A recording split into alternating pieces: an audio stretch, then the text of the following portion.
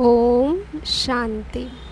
17 अगस्त 2022 बाबा के महावाक्य, मीठे बच्चे, बाप तुम्हें बेहद का समाचार सुनाते हैं। तुम अभी स्वदर्शन चक्रधारी बने हो। तुम्हें चौरासी जन्मों की स्मृति में रहना है और सबको यह स्मृति दिलानी है।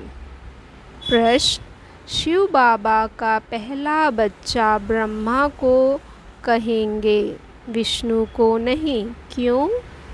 उत्तर, क्योंकि शिव बाबा ब्रह्मा द्वारा ब्राह्मण संप्रदाय रचते हैं। अगर विष्णु को बच्चा कहे तो उनसे भी संप्रदाय पैदा होनी चाहिए, परंतु उनसे कोई संप्रदाय होती नहीं। विष्णु को ही मम्मा बाबा भी नहीं कहेंगे।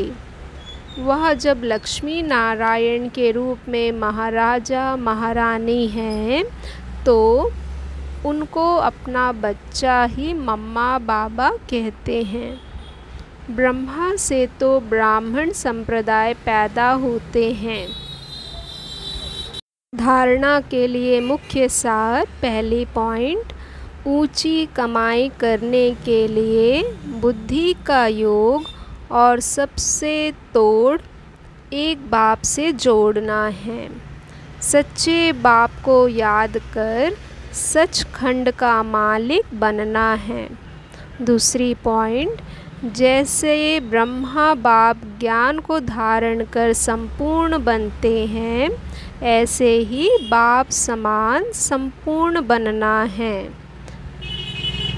प्रदान, अटूट निश्चय के आधार पर विजय का अनुभव करने वाले सदा हर्षित और निश्चिंत भव। निश्चय की निशानी है, मनसा, वाचा, कर्मणा संबंध संपर्क हर बात में सहज विजयी।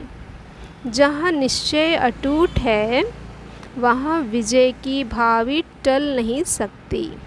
ऐसे निश्चय बुद्धि ही सदा हर्षित और निश्चिंत रहेंगे। किसी भी बात में यह क्या, क्यों, कैसे कहना भी चिंता की निशानी है। निश्चय बुद्धि निश्चिंत आत्मा का स्लोगन है।